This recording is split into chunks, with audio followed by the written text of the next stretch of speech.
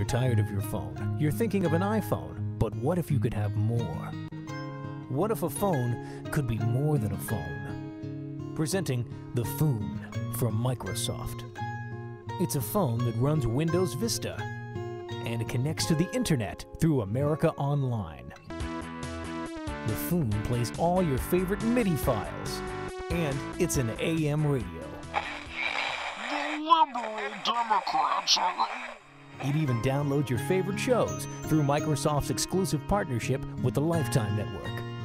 It's also a fax machine. And if you want your phone to be a calculator, there's an easily downloadable app, or FAP, in our online marketplace. All of this in one handheld device for the next generation.